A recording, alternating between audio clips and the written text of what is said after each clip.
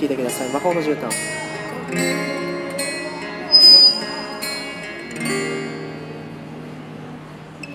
くだらないことで笑って何気ない会話で泣いて一つ一つの出来事にしおりを挟んで慰さないように慰さないように。嵐のように魔法の絨毯に乗って迎えに行くよ。魔法は使えないけどお金もないし力もないし地位も名誉もないけど君のこと話したくないんだ。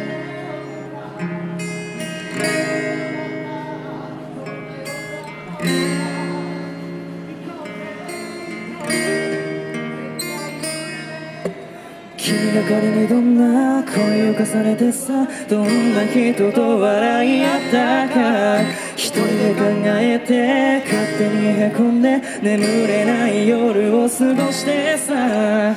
仮に雨が降ってびしょ濡れになっても僕が迎えに行くから笑って泣いて見つめ合って抱きしめ合って愛し合って。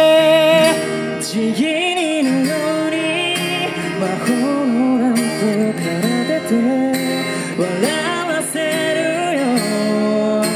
魔法は使えないけど。お金もないし力もないし地位も名誉もないけど。君のこと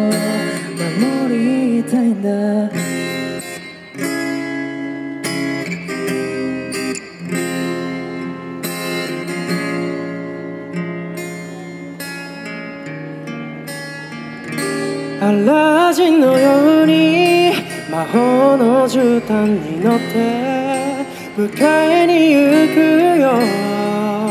魔法は使えないけどお金もないし力もないし地位も名誉もないけど君のことの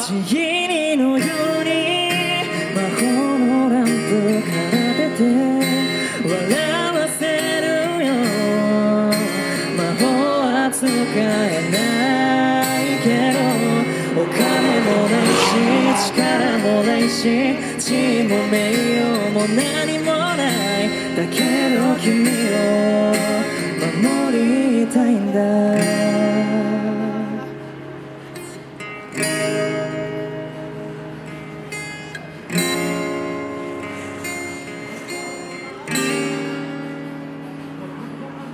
ありがとうございます。ありがとうございます。改めまして、ゆめたまごです。